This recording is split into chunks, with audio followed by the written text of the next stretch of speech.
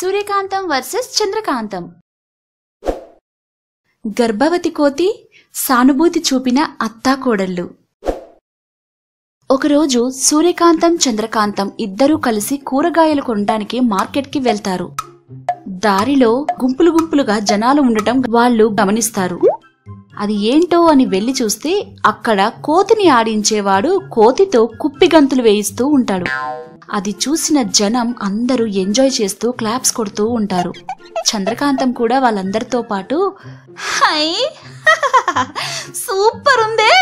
భలే ఉంది కదత్తమ్మా అది చూస్తూ ఎంజాయ్ చేస్తూ ఉంది. కానీ సూర్యకాంతం మాత్రం ఆ కోతి యొక్క అవస్థని గమనించింది.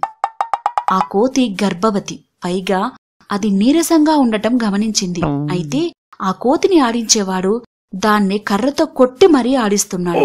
అది చూసిన సూర్యకాంతానికి ఆ కోతిపై జాలి కలుగుతుంది.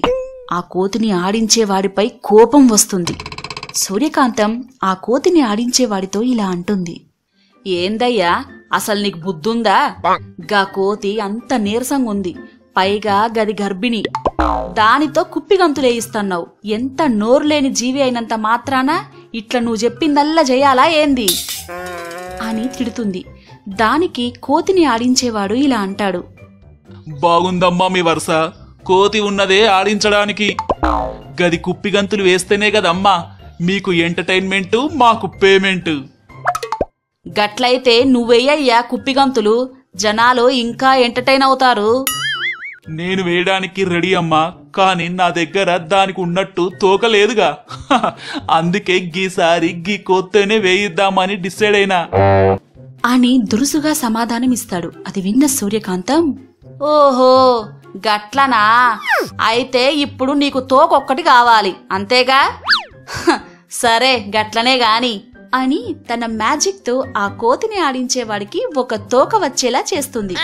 అది చూసి జనాలందరూ నవ్వుతారు.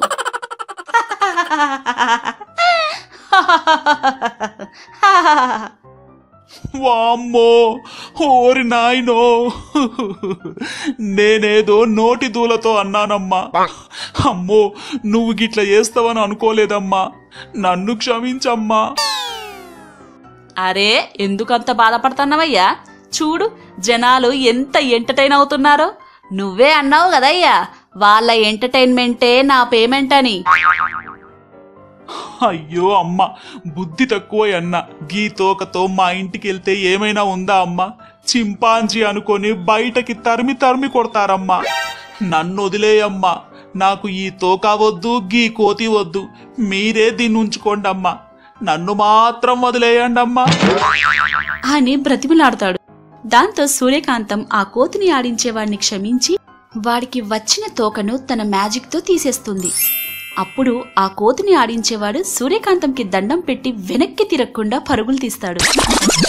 సూర్యకాంతం ఆ కోతి మెడలో కట్టి ఉన్న తాడుని విప్పి ఆ కోతిని తనతో పాటు ఇంటికి తీసుకుని వెళ్తుంది. ఇంటికి వెళ్ళాక ఆ కోతికి ఇంట్లో ఉన్న అన్ని పండ్లు తినడానికి ఇస్తుంది. కోతి బాగా ఆకలితో ఉండటంతో ఆ పండ్లన్నీ వెంటనే తినేస్తుంది. అది చూసిన చంద్రకాంతం హరే ఏ దత్తమ్మ గిది గట్ల తినేసింది మొత్తం?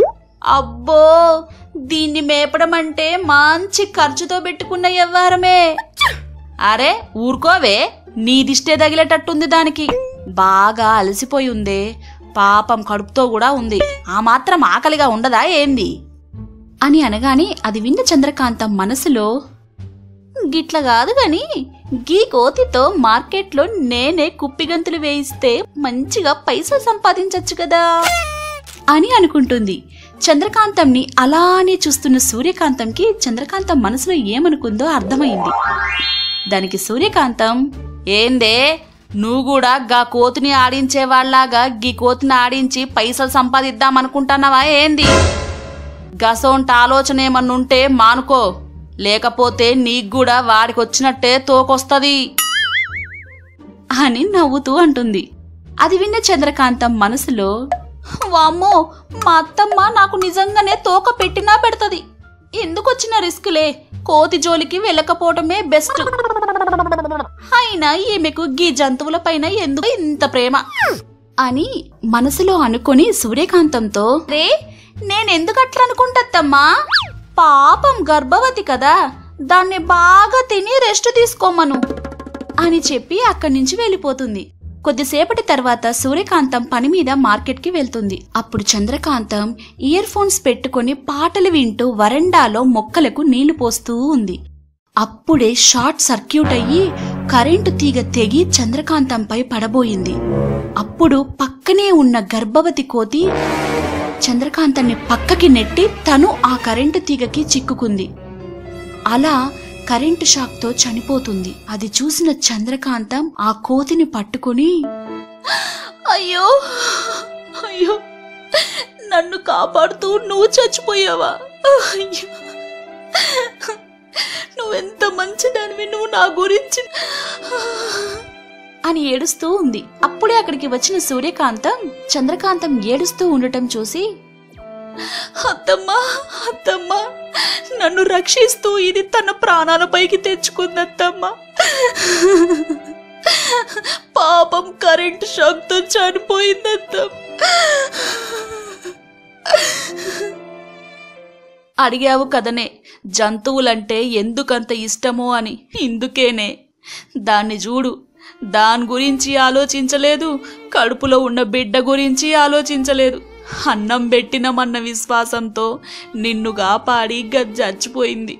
అందుకేనే అవంటే నాకు ఇష్టం అదేనే వాటి గొప్పతనం.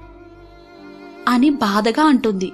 దానికి చంద్రకాంతం ఏడుస్తూ అత్తమ్మ ఎలాగైనా దాన్ని బ్రతికించత్తమ్మా.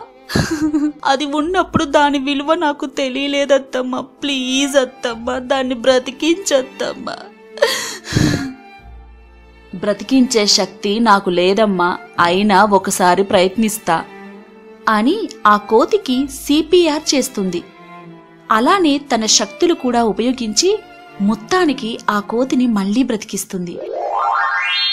కోతి స్పృహలోకి వచ్చిన వెంటనే దాన్ని పశువుల హాస్పిటల్కి తీసుకొని వెళ్తారు. దాంతో ఆ కోతి ఇంకా దాని కడుపులో ఉన్న బిడ్డ ఇద్దరూ మామూలుగా తిరుగుతారు. అలా ఆ కోతి చంద్రకాంతంని తన ప్రాణాలకు తెగించి మరీ కాపాడడంతో చంద్రకాంతంకి తనపై ఇష్టం పెరుగుతుంది. అలా చంద్రకాంతం ఆ కోతిని బాగా చూసుకుంటూ ఉంటుంది.